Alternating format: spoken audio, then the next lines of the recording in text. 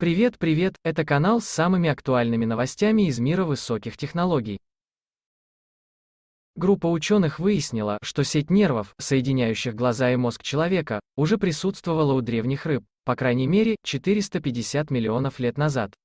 Это значит, что такая система примерно на 100 миллионов лет старше, чем считалось ранее, изучение моделей на животных – бесценный способ для исследователей больше узнать о здоровье и болезнях, но установление связи с условиями жизни людей на основе этих моделей может быть сложной задачей.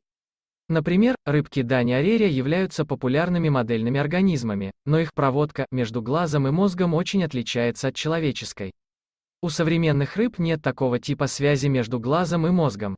Это одна из причин, по которой люди думали, что такая сеть – что-то новое для четвероногих, панцирниковые или панцирные щуки, или каймановые рыбы, семейство лучеперых рыб, единственная современная в отряде панцирникообразных.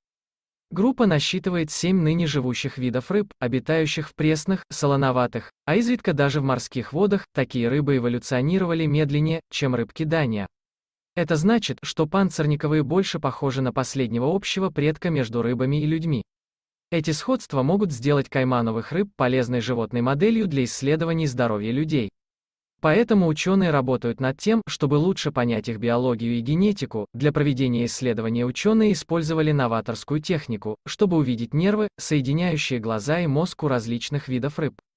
Среди них хорошо изученные рыбки Дания, а также более редкие образцы, панцирниковые и австралийские двоекодышащие рыбы. У рыбок Дания каждый глаз имеет один нерв, соединяющий его с противоположной стороной мозга рыбы.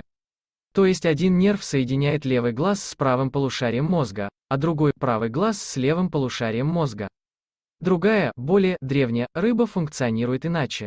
У панцирных щук есть так называемые ипсилатеральные или двусторонние визуальные проекции. Здесь у каждого глаза есть два нервных соединения, по одному с каждой стороны мозга, как и у людей, читать далее создана первая точная карта мира. Что не так со всеми остальными, в НАСА рассказали, как они доставят образцы Марса на Землю ученые объяснили появление пауков, на поверхности марсомодельные организмы, организмы, используемые в качестве моделей для изучения тех или иных свойств, процессов или явлений живой природы. Если видео было вам интересным, пожалуйста поставьте лайк и подпишитесь на наш канал.